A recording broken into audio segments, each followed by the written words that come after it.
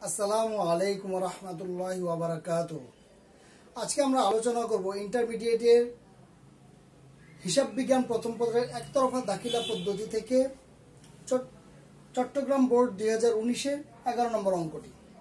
উপস্থাপনায় আমি আছি মোহাম্মদ নজরুল ইসলাম, সহকারী অধ্যাপক, হিসাব বিজ্ঞান বিভাগ, Central Women's College, Tikatuli, Dhaka. প্রথমে আমরা একটু অঙ্কটা দেখে নিই। জনাব শাওন তার হিসাবের বই দুতরফা দাখিলা পদ্ধতি মোতাবেক সংরক্ষণ করেন না। দু হাজার আঠারো সালের এক জানুয়ারি তারিখে তার ব্যবসায়ের মূলধন ছিল দুই লক্ষ পঞ্চাশ হাজার টাকা। অর্থাৎ আমার প্রারম্ভিক মূলধন দেয়া আছে। প্রারম্ভিক মূলধনটা আর বের করা লাগবে না। প্রারম্ভিক মূলধন হলো দু লক্ষ পঞ্চাশ হাজার টাকা। একত্রিশ বারো দুই তারিখে তার ব্যবসার আর্থিক অবস্থা ছিল নিম্নরূপ। কি কি একত্রিশ বারো? নগদ তহবিল সত্তর হাজার টাকা, প্রাপ্য হিসাব বিশ হাজার টাকা মজুদ পণ্য চল্লিশ হাজার টাকা, পনেরো পার্সেন্ট বিনিয়োগ ষাট হাজার টাকা, যন্ত্রপাতি পঞ্চাশ হাজার টাকা, আসবাবপত্র পঁয়তাল্লিশ হাজার টাকা, প্রদেয় হিসাব দশ হাজার টাকা, বকেয়া বেতন পাঁচ হাজার টাকা। আর কি আছে দেখি? জনাব শাহন সারা বছর ধরে নগদ বারো হাজার টাকা উত্তোলন করেন। এক জুলাই দুই হাজার আঠারো তারিখে তিনি ব্যবসায়ের জন্য চল্লিশ হাজার টাকা দিয়ে একটি মোটর গাড়ি ক্রয় করেন, যার অর্ধেক টাকা ব্যক্তিগত তহবিল থেকে সরবরাহ করেন। অর্থাৎ চল্লিশ হাজার টাকা দিয়ে একটি মোটর গাড়ি কিনেছে, যার অর্ধেক টাকা ব্যক্তিগত তহবিল থেকে দিয়েছেন। অর্থাৎ অর্ধেক টাকা হচ্ছে অতিরিক্ত মূলধন। অন্যান্য তথ্য, ব্যবসায়িক খরচ দুই হাজার টাকা বকেয়া রয়েছে, বিনিয়োগের সুদ ছয় মাসের অনাদায়ী রয়েছে, আসবাবপত্রের উপর দশ পার্সেন্ট এবং যন্ত্রপাতির উপর পাঁচ পার্সেন্ট অবচয় ধরতে হবে। আসে কি কি করতে বলেছে আমাকে? সমাপনী মূলধনের পরিমাণ নির্ণয় করো। খ, জনাব শাওনের লাভ লোকসান বিবরণী তৈরি করো। গ দু হাজার আঠেরো সালের একত্রিশে ডিসেম্বর তারিখে তার বৈষয়িক বিবৃতি প্রস্তুত করো। অর্থাৎ পুরো অঙ্কটাই আমাকে করতে বলেছে। আসি আমরা প্রথমে সমাপনী মূলধনটা নির্ণয় করি। সমাপনী মূলধন আমরা জানি এক পাশে সম্পত্তিগুলো বসাবো, এক পাশে আমরা দায়গুলো বসাবো।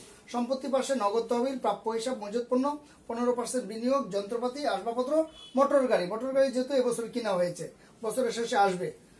দায় পাশে আছে প্রদেয় হিসাব, বকেয়া বেতন। সম্পদ পাশে যোগফল তিন লক্ষ পঞ্চাশ হাজার টাকা। এ থেকে আমি পনেরো হাজার বাদ দিলে তিন লক্ষ দশ হাজার টাকা। তিন লক্ষ পঁচিশ হাজার টাকা আমার ছিল সম্পদ পাশের যোগফল। তিন লক্ষ পঁচিশ হাজার টাকা এখানে বসালাম। তিন লক্ষ পঁচিশ থেকে তিন লক্ষ পনেরো সরি শুধু পনেরো হাজার গেলে তিন লক্ষ দশ হাজার টাকা থাকে আমার সমাপনী মূলধন।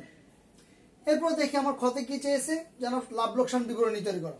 আমরা জানি লাভ লোকসান বিবরণী তৈরি করার জন্য প্রথমে প্রতিষ্ঠানের নাম প্রতিষ্ঠানের নাম না থাকলে মালিকের নাম, তারপর লাভ লোকসান বিবরণী, তারপর এটা দুই আঠারো সালের একত্রিশে ডিসেম্বর পর্যন্ত সমাপ্ত বছরের জন্য। এখানে দুই হাজার আঠারো সালটি লিখতে হবে। প্রারম্ভিক মূলধন আছে দুই লক্ষ পঞ্চাশ হাজার টাকা, অতিরিক্ত মূলধন আছে বিশ হাজার টাকা। প্রারম্ভিক মূলধন আমার দেয়া আছে। অতিরিক্ত মূলধন, ওই যে গাড়ি, যন্ত্রপাতি কেনার অর্ধেক টাকাটা অতিরিক্ত মূলধন সমাপনী মূলধন আমরা বের করেছি তিন লক্ষ দশ হাজার টাকা। উত্তোলন বলা আছে। বারো হাজার টাকা। তাহলে বাকি এখানে আসবে খরচ, বকেয়া খরচ, এ পাশে আসবে আয়, বকেয়া আয়। খরচের অগ্রিম থাকলে এই পাশে, আয়ের অগ্রিম থাকলে এই পাশে।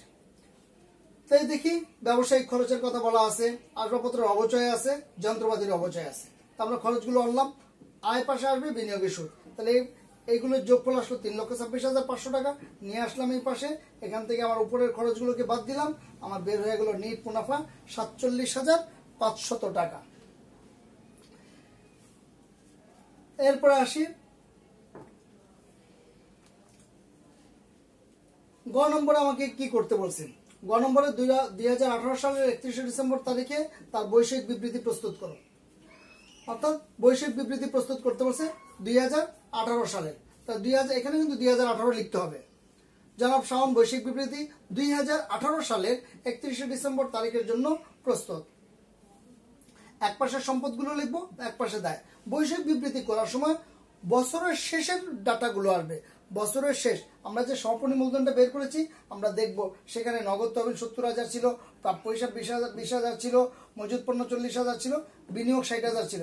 বিনিয়োগের সুদ আমরা বিনিয়োগের সাথে যোগ করেও দেখাতে পারি আলাদাভাবে দেখাতে পারি। দায় পাশে আমরা দেখব, বছরের শেষে আমার প্রদেয় হিসাব দশ হাজারই ছিল, বকেয়া বেতন আমার পাঁচ হাজার টাকা মূলধন দুই লক্ষ পঞ্চাশ হাজার টাকা। মূলধনটা আসবে প্রারম্ভিকটা। মূলধন আসবে প্রারম্ভিকটা। এটার সাথে যোগ হবে অতিরিক্ত মূলধন। যোগ করলে দুই লক্ষ সত্তর হাজার হলো। আর দেখি, এরপরে বিনিয়োগের যোগফলটা এখানে চলে আসলো। যন্ত্রপাতি পঞ্চাশ হাজার, যন্ত্রপাতি থেকে যন্ত্রপাতির অবচয়টা বাদ দিলাম। বাদ দিয়ে এখানে বসালাম। আসবাবপত্র পঁয়তাল্লিশ হাজার, আসবাবপত্র অবচয় বাদ দিয়ে এখানে বসালাম। মোটর গাড়ির কোনো অবচয় ধরতে বলে নেই। সরাসরি চলে আসলো। এই পাশে আমার যোগফল হলো তিন লক্ষ বাইশ হাজার পাঁচশো। আর এই পাশে আমরা একটু তাকাই। মূলধনের সাথে অতিরিক্ত মূলধন যোগ হয়েছিল, এরপর নিট মুনাফা যোগ হলো, যোগ করার পর আমরা পেলাম তিন লক্ষ সতেরো হাজার পাঁচশো, এর থেকে উত্তোলন বাদ দিব বারো হাজার, পেয়ে গেলাম আমরা তিন লক্ষ পাঁচ হাজার পাঁচশো টাকা। সমন্বয়ের মধ্যে ছিল বকেয়া ব্যবসায়িক খরচ দুই হাজার টাকা, সেটাও নিয়ে আসলাম। মোট যোগফল, দায় পাশের যোগফল তিন লক্ষ বাইশ হাজার পাঁচশো, সম্পদ পাশের যোগফলও তিন লক্ষ বাইশ হাজার পাঁচশো। অর্থাৎ বিষয় বিবরণী বা বৈষয়িক বিবৃতি বা আর্থিক অবস্থার বিবরণী একতরফা দাখিলা পদ্ধতির ক্ষেত্রে যে নামেই ডাকুক না কেন, এইটা আমাদের দুই পাশ মিলে যাবে। দুই পাশ মিলে গেলে আমরা বুঝতে পারব যে আমার অঙ্কটা হয়েছে। এই ছিল আমার আজকের অঙ্ক। আমরা আশা করছি, চেষ্টা করছি খুব শীঘ্রই একটি বই বাজারে আনতে, যে বইয়ের মধ্যে প্রত্যেকটি অঙ্কের ইউটিউব লিঙ্ক দেওয়া থাকবে। ইউটিউব যাতে অঙ্ক করার সময় আপনি সেই লিঙ্কটা দিয়ে সামনে থেকে অঙ্কটা দেখে নিতে পারেন। আপনাদের যে কোনো পরামর্শ, উপদেশ, কমেন্টের মাধ্যমে আমাদেরকে জানান। আর আমাদের এই অঙ্কটা যদি আপনাদের ভালো লেগে থাকে, তাহলে বেশি বেশি শেয়ার করুন। বান্ধবীদেরকে বন্ধু বান্ধব যারা আছে, সবাইকে জানান। জানাইলে আপ- আপনার উপ- উপকার হবে, আপনার টাইম লাইনে থেকে যাবে, আপনার যখন প্রয়োজন হবে তখন অঙ্কটা আবার দেখতে পারবেন। আমাদের এই চ্যানেলে যদি নতুন হয়ে থাকেন, আমাদের চ্যানেলটি প্লিজ সাবস্ক্রাইব সাবস্ক্রাইব করুন। বেল আইকনটিতে ক্লিক করে রাখুন। আমরা যখনই নতুন কোনো অঙ্ক দিব, সাথে সাথে পেয়ে যাবেন। ভালো থাকবেন, সুস্থ থাকবেন। আল্লাহ হাফেজ।